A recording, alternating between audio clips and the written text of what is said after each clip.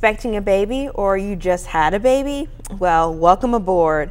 Today we're bringing you part two of a two part series with Healthy Start Coalition. And um, we talked about in the last um, episode for part one about this great organization that helps new mommies or mommies to be. So um, let's talk briefly, just in case this is your first time coming in, um, let's go ahead and just talk briefly about what Healthy Start is and what they do with women, okay? So first I'm here with uh, Miss Bush. Can you talk a little bit about what the program? Absolutely. Um, the Healthy Start Coalition of Okaloosa and Walton mm-hmm. Counties subcontracts with the Cope Center mm-hmm. for Okaloosa County, and we subcontract with the Walton County mm-hmm. um, Health Department for the Walton County um, women and, pre- and parents. Um, we work to ensure that healthy mm-hmm. babies are born to healthy mothers. That's the main thrust of our organization. Excellent. And can you introduce yourself, Ms. Gina? Yeah, my name is Gina Baker, and I'm the supervisor uh, and care coordinator in Okaloosa County for Healthy Start.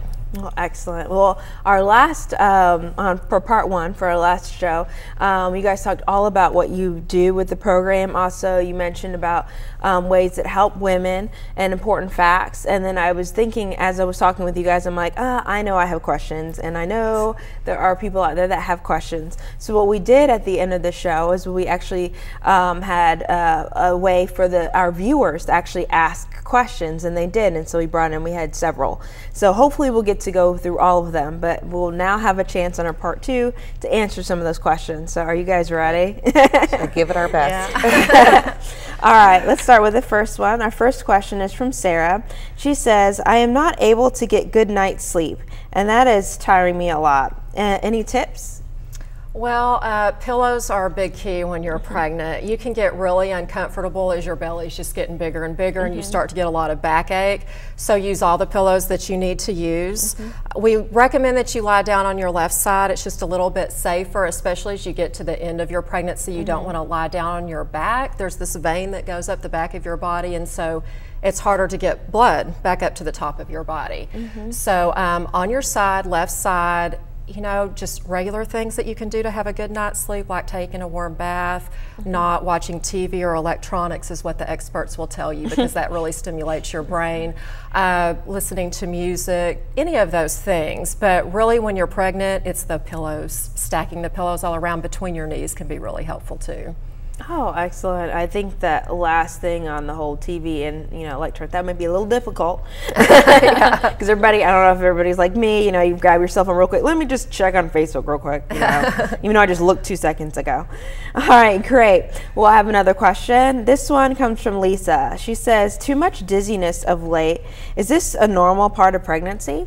You know, it really is, and most all women experience this. You're making a lot more blood when you're pregnant, mm-hmm. and at different times of your pregnancy, your blood pressure may, may go up, it, it, may also go down, and when it goes down, then you can get that dizziness. Mm-hmm. So it's normal. Now, I say that if it's really excessive, you always need to talk to your doctor and ask your doctor mm-hmm. about it.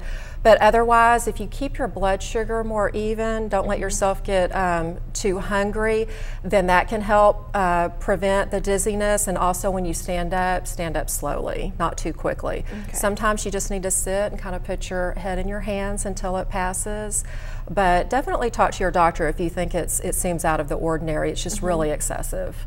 Oh, cool. Those are really good tips. And also always having snacks and stuff. Because yes. that can, because sometimes you forget, like if you're really busy or especially working moms out there that work like all the way up in their pregnancy. Pretty much some worked like two days before they're actually deliver and yes. stuff. So they don't think about, oh man, I, you know, I got to eat. So it's kind of cool that you know, it's a good idea to have snacks, you know, stuff it in your mm-hmm. purse. Right. They get busy. And, and mm-hmm. like you said, when you're working, you get busy and you forget to drink mm-hmm. and you forget to mm-hmm. eat. And when you're pregnant, you can't forget to do those things. exactly. Yes. Yeah. Water. Um, yeah. Very important. I keep hearing that all the time. is Drink water, drink water, you know, mm-hmm. whether you're pregnant or not, but especially when you're pregnant and it's really important. Yes. So that's good.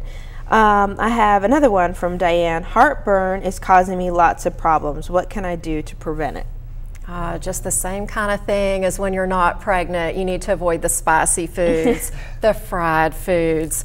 Uh, you don't want to eat real fast. Mm-hmm. You could also eat smaller meals. And even though you're really tired when you're pregnant, you don't want to eat and then go lie down because, of course, that's going to make the heartburn worse too. That's also hard. Yes, yes. It's kind of like yes, I'm tired, you know. Yes, you do. You get tired when you're pregnant. I'm sure you heard the old wives tell like heartburn means like a really you, you your baby has a full head of hair. Like I don't know if they've that. actually had. Or it's going to be a boy. Yeah. Or things like that. Mhm. That's also what I don't know how true that is. It's not true. It's not true. So you heard that. So um, it's not really true. So if you don't have heartburn, doesn't mean you're going to have a bald baby. You know? All right. Uh, Miss Bush, uh, Amanda asks, is there anything that can be done to prevent stretch marks? Oh my. Stretch marks, I often get asked questions about this, um, but about 90% of all pregnant women will get stretch marks. Okay. And they will occur either in the arms or around the stomach, even in the breast, legs, or buttocks. And we always say there's a lot of creams out on the market that can help you, um, both prenatally and postnatally. But I always tell people don't be afraid of stretch marks because actually it's a badge of honor. It's saying, hey, I brought life onto this planet. Right. And we all get them. I love how you mention that because you know I think as women we're already automatically I think self-conscious about how we look. So you know going through pregnancy it's kind of tough sometimes. You know you have to let yourself one gain weight. You know all the time all their life is like no I got to lose weight. So this is something where I know you're supposed to gain. You know mm-hmm. 25 35 pounds. You're like ooh, and then and then the other thing with the stretch marks and stuff. So it's really good that you know your advice is more just pretty much embrace it. You know it's pretty much most likely it's it's going to be unavoidable. You're going to have it. So you know, just pretty much more of how to deal with the stretch marks, not necessarily how to get rid of them. Correct. You know, so. And they'll fade. They'll fade after you give birth. They'll always be there a little bit, but they fade. okay. um, Jessica asks, which types of fitness activities are approved? Oh, well, you're going to want to talk to your doctor about that. Mm-hmm. Always we refer back to your doctor, but a general guideline is you want to avoid those high impact kind of mm-hmm. exercises. Um, anything that is common to cause an injury, you want to avoid. Mm-hmm. But you can walk. You can uh, get on a stationary bike at the gym. You can do that. Swimming is also very safe.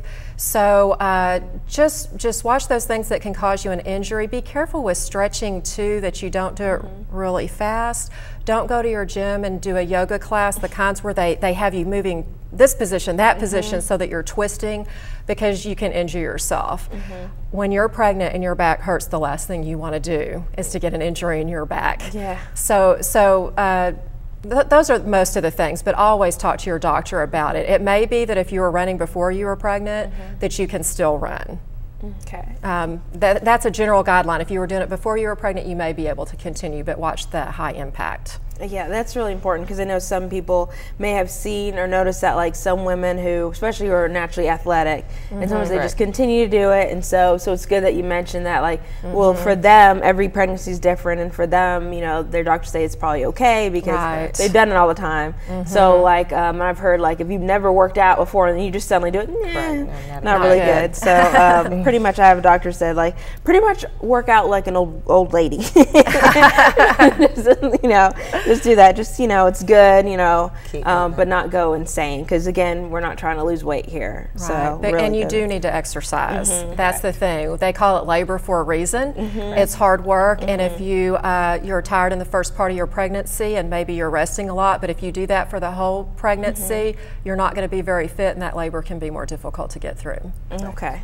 So workout, but just not, you know, no like, uh, was it Shaun T or? Yes. P90. yeah, no, we don't need to do that. uh, Melissa asks, is it normal to wee all the time when pregnant? It is, yes, and, and I, you know that's another one of those things that's very common and women really complain about.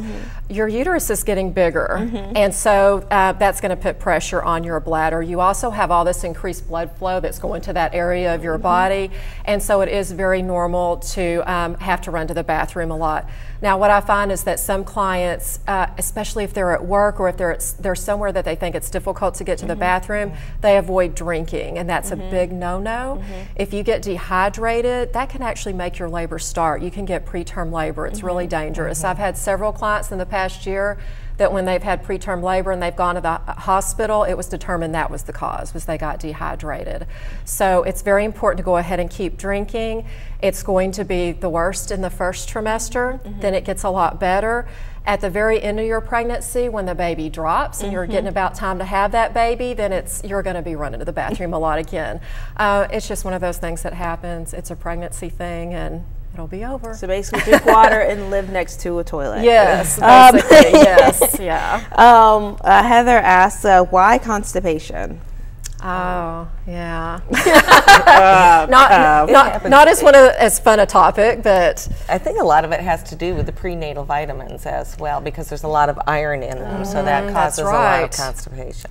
But there's yeah, that's true. And it's hormones. Of course, almost mm-hmm. everything we're going to blame on those pregnancy mm-hmm. hormones. It makes the intestines uh, sluggish mm-hmm. so that mm-hmm. everything's not moving through quite as quickly. Yeah. Okay, so even if you're young and you've never had a problem with constipation, it may suddenly come up and it's not real fun. Yeah. And so it's the same kind of things that you would do for that that you would if you weren't pregnant. You're going to eat a high fiber diet. Mm-hmm. Okay. If, if, your food comes from an animal, it has no fiber in it.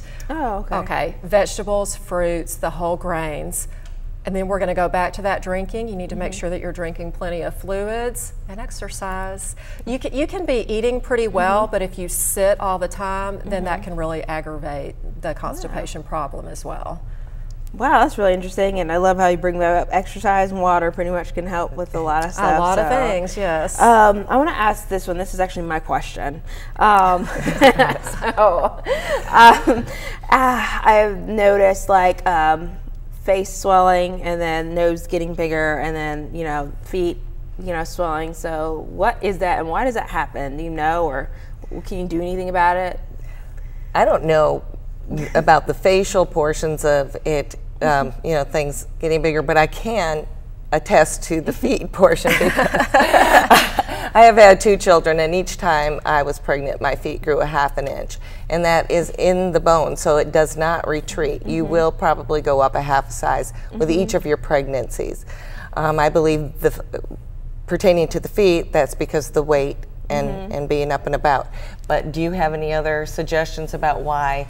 Um, facial portions grow? Yes. Well, there's fluid retention when you're pregnant, and you'll hear moms talk about all the congestion that they get in their face, and that's something that happens. It doesn't sound real nice, but you get all this mm-hmm. thickened mucus mm-hmm. in your mm-hmm. body when you're pregnant, and so um, that's why some women will say, "My nose looks like it's it's swelling." That there's this right. fluid, there's extra blood flow going mm-hmm. on, and this thickening thickening of the mucus, so that then maybe your nose looks a little bigger. Now, unlike the feet where that's probably not going to go away and your shoe size is going to go up, uh, your face is going to go back. Your, your nose will go back to the way it was before. So, not to worry about that.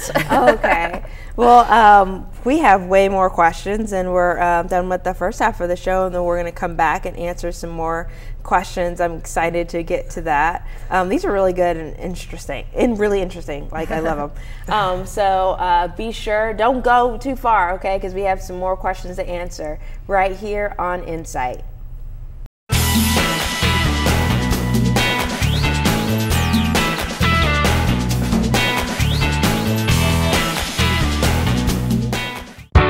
Our commitment to the community is something that we believe in and act on every single day. It's a key part of our culture and who we are as a company.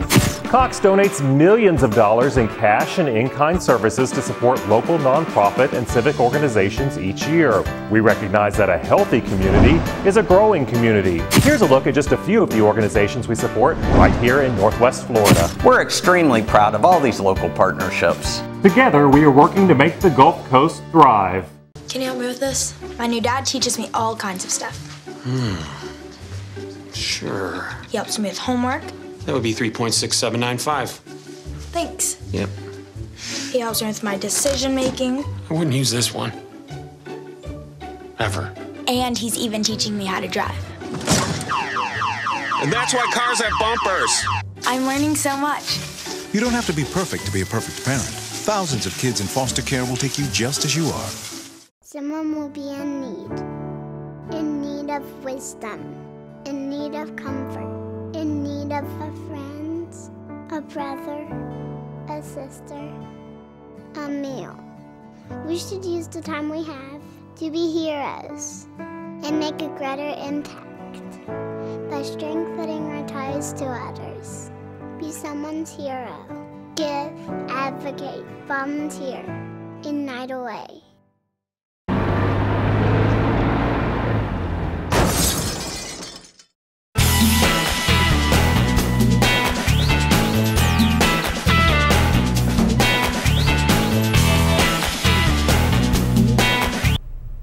And we're back here on Insight, and I'm your host, Valerie Bogar, and I'm joined with two women with Healthy Start Coalition, um, Miss Ardell Bush, and um, we also have Miss Sheena Baker.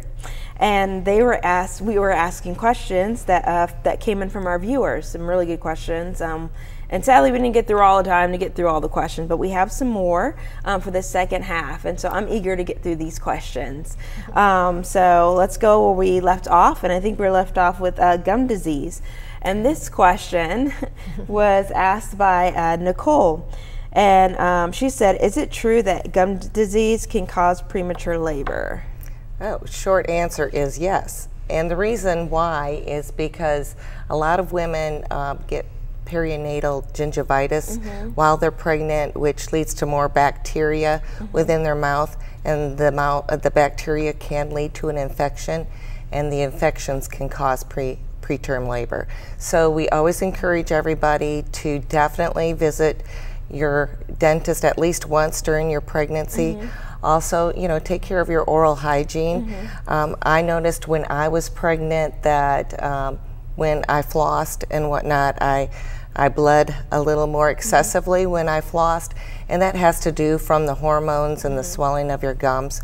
So, also, if you have any type of oral issues going on before you get mm-hmm. pregnant, mm-hmm. you need to get it checked out right away because they will only get worse during your pregnancy. Oh wow! So uh, that's really important. I know some people like to avoid the dentist, but you know it's different. You know you're carrying a little one, so it's really important that you go ahead and take care of that. Absolutely. So good that you mentioned that one. So that was a good question. Uh, Michelle asked, uh, "My emotions and mood swings are getting worse. Is this normal?" Yes. and you know, you see this all the time on TV and in movies. That they'll show pregnant women um, they'll show women in labor and giving birth. And when they show those types of things, often it's not very accurate. but whenever they show the women bursting into tears and being very emotional and possibly very difficult and irritable, that's actually really not far off. that that's pretty real. And mm-hmm. there's just such a flux in hormones that uh, women find that they really can burst into tears very easily. They can argue a lot more with their loved ones. Mm-hmm. Uh, and so it's normal. Really, we like to talk a lot of times to the people that are around the pregnant woman mm-hmm. just to say, hey, cut her some slack. Let's be patient with her because it is very difficult with all those hormones running mm-hmm. around to be the normal self that you were before you were pregnant. Okay. Yes. I, have had stories. I think the um, wackiest was um, deciding what to eat for uh, dinner. It was. Mm-hmm. Um, and it was serious. I don't know why, but it was like I don't know if I want string beans, and I cried over it. It was weird. Yes. Like, like, I was like, I don't know if I want string beans, and I, I, couldn't explain it. Like it was just weird.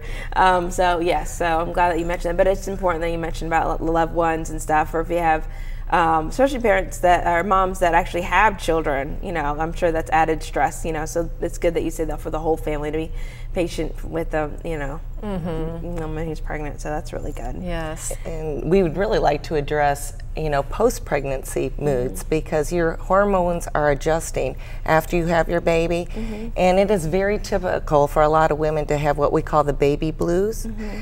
And the baby blues can last up to 10 days after you have your baby because there's a lot of stuff going on. Um, mm-hmm. You're overwhelmed. There's a lot of irritability going on. Mm-hmm. But if your baby blues last longer than 10 days, you might have postpartum depression. Mm-hmm. Um, we always encourage women that if your baby blues last longer than 10 days after your baby's birth, that you need to go visit your doctor mm-hmm. and get checked out mm-hmm. because the most important thing for you to do as a new mother is to be bonding with your baby. Mm-hmm. And if you are having um, these types of uh, issues with postpartum depression, mm-hmm. your bonding's not going to be going on as well either. So it's another thing for families to keep an eye out on, on the woman also. Oh, that's really good that you mentioned that because I think there was another one I saw in one of your pamphlets. It's uh, about shaking babies and stuff, and Correct. then uh, prevention on that one. So I think that's part with Healthy Start too that you talk about that. Yeah. Um, yeah, with some people, and even it happens even with not just the moms, but also other family members too, that gets really impatient and, and stuff like that, and how dangerous that is. and caregivers and whatnot. It's Yeah. just, you know, they always say with shaken baby syndrome, just put the baby down, walk away, let the baby cry, it's going to be fine. But just, you know, breathe and uh, just, you know, relax. Um, and then come back to the baby after you've calmed down. Right. And That's ask good. for help. Yes, ask, always. Ask for help from others when your baby's crying and crying. With that shaken baby, you know when it really happens the most is when that baby has colic, Mm-hmm. and so that that can be eight weeks to. Um, Three months is w- about when we tend to see that. Mm-hmm. And so, when you have a baby that's crying and crying, it's a very high pitched, screaming cry that can be very difficult to handle. And so, that's why we say get help. And, like Ardell said, if, if everyone has held the baby and, and everyone's getting tired of holding the baby, put the baby down. Okay. And yes, and um, call for other help from other family, but just after you've taken the breather, then you can go back to the baby because we want the baby safe. Even just a little bit of shaking can really harm that baby. We can have blindness or death. We can have learning disabilities later on um, in life so that you might not have even realized that something happened right then. But the baby's head is so heavy and they don't have the muscles in their neck to support it that um, it's very easy to injure the baby with shaking. That's very important. I'm glad that you mentioned that with all the emotions that can come, and then and how to handle it, and very important to ask for help and call your doctor. And you know, if you think, especially if Yes. it lasts, baby blues last more than 10 days. Thank you for mentioning. That's a really, really important question. Um, we have another question from Kimberly. She said, "What is uh, Braxton Hicks contractions?" Oh, those are practice contractions. And I, I know pe- women think, well, I don't want to have to have contractions before it's even time for me to go into labor, but you do. Now, uh, they can start up in your second trimester, even. Generally, that early, they're painless. You may feel your stomach, your whole abdomen just kind of harden. Believe it or not, it can feel like cement when you mm-hmm. touch it.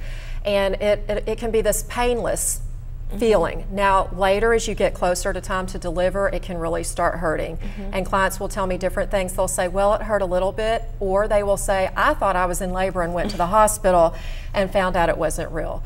But Braxton Hicks, what that is, is it's your uterus. Your uterus is basically like a almost a big muscle, and it's practicing just the way you work out your muscles so that your muscles build. That's what your uterus is doing. It's getting ready for that work of pushing out that baby Wow. when you give birth. So when it practices, it's strengthening, it's working that muscle.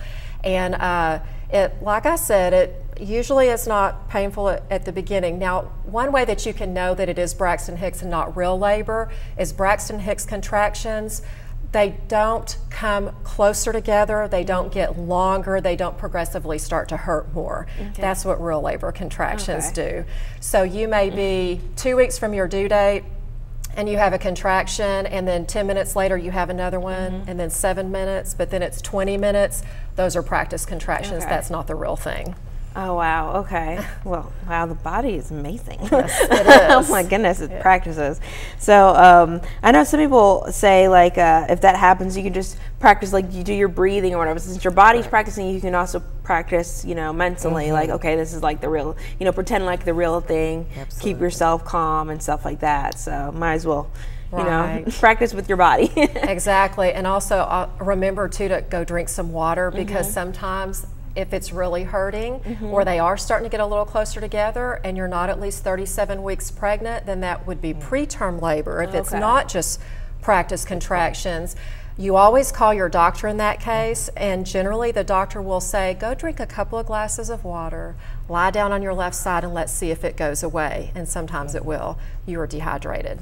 And that's why you were getting those contractions. That, that is like the next question that also says with water. So just letting anybody who's watching just get that in mind. Just most likely water will actually save you. All right, we have this one from Christina. Uh, she said, uh, "What are the key advantages to signing up for childbirth classes?" Miss Bush, do you know? Like, Well, you know, childbirth classes are coaching, and they're going to give you all kinds of great information about what to expect during the process.